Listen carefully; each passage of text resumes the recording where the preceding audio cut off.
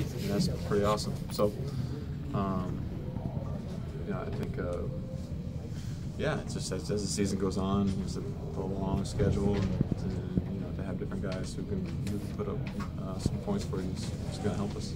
Yeah, turnovers in the first quarter, and then I think Anthony was only 16. And just was that kind of what was keeping them in the game early? Yeah, I mean we uh, we had some bad turnovers in the first quarter, nine or ten, nine. Nine.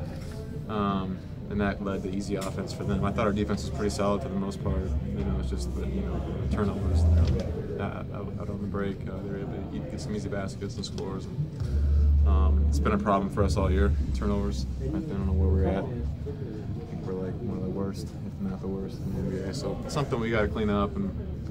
Um, you know, we don't want to. I mean, Coach Bud's big on. He wants us to play free. He wants us to try to, you know, make things happen. So he don't. He just doesn't want to take that away. That, you know, but we just got to be better. And that's what he, he, always tells us: be better. Um, so we had, we got better in the second quarter, and third, fourth quarter. The first quarter was not better. It was not good. Yeah. The bench again kind of pushed a lead in the preseason and the camp, you know, uh, did that make the five on five work a little more colorful with the starters and the bench, or they kind of go at it? Killed you killed them. I don't remember.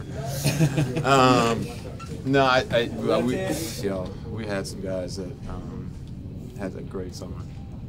You know, I think, you know, I'm, I do not want to leave people out, but you know, Tim and Muskie were here all summer our, our, our, player development with our coaching staff is second to none. They had a great summer.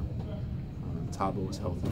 Was, we were both coming off surgeries last uh, summer. Um, you know, that's been huge.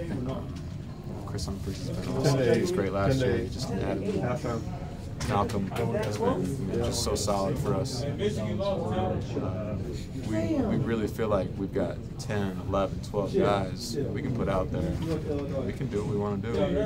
Um, to be able to, I mean, Bud is so good at, you know, it's not like starters play and then the bench plays. That's not how, he, you know, it's like one guy's here, one guy's there. He's, we probably play, I don't know how many lineups in, over the course of the game. It's, you know, um, and uh, but to be able to just keep waves coming to the other team, I think um, you know, it's, it's, all about how do you how do you put together your best 48 minutes, and um, I think you know we've always tried to do that, um, but I think our depth is definitely the best it's been in the years that I've been here.